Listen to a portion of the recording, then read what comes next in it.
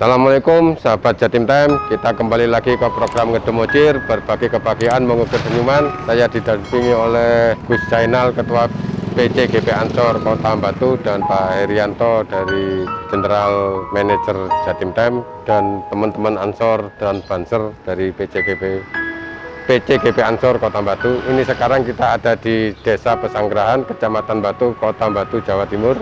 Akan menuju ke rumah Atim Pak Atim ya, beliaunya dulu itu jualan minyak gas mi- minyak tanah ya, minyak tanah minyak tanah keliling dulu itu, legend dulu di kota Batu. Sekarang kondisi beliau sedang sudah sepuh dan sedang dalam kondisi sakit ya. Ya. Kita mau menuju ke rumah beliau, sahabat. Oke, ayo sahabat.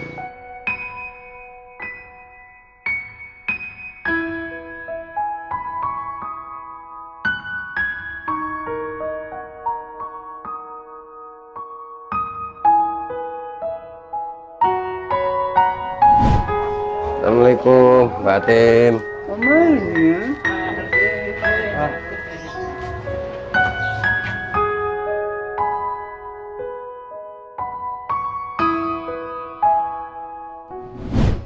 Dengan Bu Sinten, Pulau Juwaria Bu Juwaria. Putranya Mbak, putrinya Mbak Atim. menantu. Oh, menentunya. Sudah berapa tahun beliaunya sakit? Kalau sakit itu eh, sebelum pandemi itu sudah sakit tapi cuman ya no sakitnya orang tua itu loh mas. Maksudnya Oh. kayak ya batuk batuk biasa batuk pilek gitu loh. Terus tapi apa itu ngeluh kalau kakinya nggak bisa buat jalan gitu. Dulu Mbak Atim itu kan jualan minyak tanah itu Bu ya. Oke, Berhenti mulai itu sudah lama. Sudah habis itu loh habis ditabrak orang itu loh mas. Iya, sudah lama. belum pandemi tapi ya Sebelum pandemi, sebelum pandemi ya. iya, sebelum pandemi itu kan ada insiden ditabrak orang di Mutiara. Nah, kemudian eh, namanya anaknya ya, na- eh, kalau ada apa-apa kan waktu itu kan terakhir habis di insiden jatuh itu kan ada jahitan di pelipisnya. Dan itu dibawa ke baptis gitu loh. Terus apa namanya? Habis itu saya larang untuk keluar. Tapi yang namanya kebiasaannya keluar ya, Mas. Eh, Tetap keluar itu tetap jualan. Iya, enggak. Kalau habis jatuh itu enggak ada jualan. Enggak. Hmm, Terus eh, apa namanya? Diobatkan sampai sampai saya sama yang nerak itu diobatkan terus sampai sembuh. Sampai oh, beliaunya ke sini juga. Maksudnya tanggung jawab Tanggung gitu loh. jawab. Iya. Beliaunya ke sini. malam ketabraknya malam Enggak Siang. siang kok Inggris siang. Oh, waktu itu saya masih ngajar. Terus ditelepon malah jemput di jalan sana. Dua kali kalau nggak salah ditabraknya orang itu. Yang dulu yang pernah itu di di dekatnya Wisma Nala itu loh mas. oh ya Ya, polisi Nggih, itu ditabrak dari belakang. Itu masih mahasiswa kok. Dan dia mau kayak keburu-buru gitu loh. Mau berangkat sudah terlambat katanya. Terus itu sama telepon sama habis ditelepon temennya gitu loh. Terus tak sadar kalau Mbak ini kan memang kalau jalan kan memang agak nengah gitu loh. Maksudnya nggak nggak nggak terlalu minggir, nggih. Jadi kan beliaunya pendengarannya sudah nggak berkurang gitu loh, agak berkurang. Jadi kan kalau di klakson pun nggak dengar. Yang dikhawatirkan anaknya kan gitu. Usianya berapa sekarang Bu? Di di KTP kok itu yang saya tahu ya, wong saya ini eh, apa namanya? tahunnya data yang sudah jadi. Itu ta- tahun lahirnya tahun 42 itu pun di Karang. gitu. Oh, Lahirnya 42 itu saya nggak tahu apa iya apa iya. tapi beliau pernah cerita Betul. katanya ini ya Iya. sudah pernah ketemu Londo Oke, ceritanya gitu. Kalau 42 itu Jepang gitu ya. Lah gini ku Belum belum 42 berarti Belanda. 45 masuk lagi Belanda. Oke. Kalau cerita sama ibu itu loh, eh, apa almarhumah ibu kan, ibu sudah meninggal. Eh, kan istrinya bapak ini tuh sudah nikah beberapa kali gitu loh mas. Jadi sama ibu ini kalau enggak yang ketiga yang keempat.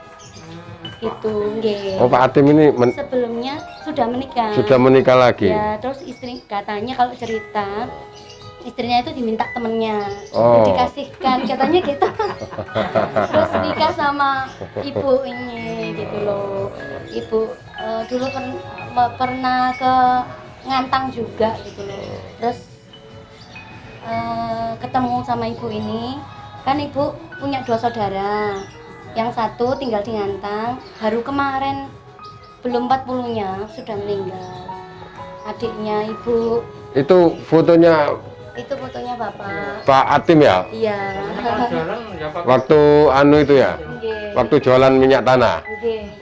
Ini sahabat, kalau yang masih ingat mau bernostalgia dengan penjual minyak tanah yang legend, ini pakaian sehari-harinya beliau dulu ini. Ya beliau berjualan minyak tanah ya dorong gerobak sambil berpakaian seperti ini sahabat. Kalau yang hidup di Batu, tinggal di Batu, Pasti tahu dengan Bapak Atim ini.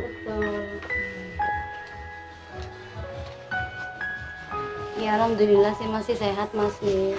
Doanya semua. Faktor usia ya. Nggih, memang faktor usia. J, tak doakan sehat-sehat semuanya. Ini ada bantuan dari sahabat Ansor dan sahabat Jadim Tem, Ibu, eh, untuk Mbah Tim dan keluarga. Siapa tahu banyak bermanfaat. Berarti ini ada bantuan dari sahabat-sahabat Ansor Kota Batu? Oh. Ye, matur dan nuwun. dari pembaca Jatim Time. Oke. Ini ada satu juta. Kalau hitung ya. Satu, dua, tiga, empat, lima, enam, tujuh, delapan, sembilan, sepuluh. Matur suwun. Nggih, sami-sami. Jenengan doakan nggih, kanca-kanca Ansor Batu diberi sehat, dimudahkan, diberi kemudahan. Teman-teman Jatim Time eh, juga sehat selalu, nggih, diberi kemudahan juga.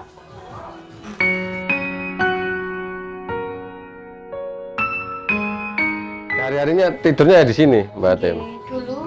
Oke, kamar sebelah terus karena beliaunya bilang kalau takut gitu loh memang kan kalau usia sepuh kan ngaten nggih merje merje ini ku mudah takut mudah kelihatan apa apa gitu loh jadi kayak kecil makanya saya taruh di depan biar dekat sama kamar saya di sini Oh.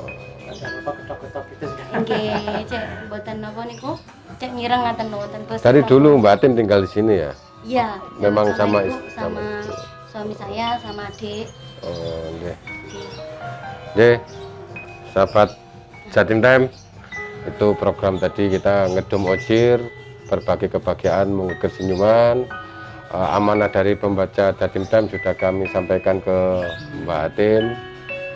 Kita bertemu lagi di episode ngedum ojir berikutnya. Terima kasih. Assalamualaikum warahmatullahi wabarakatuh.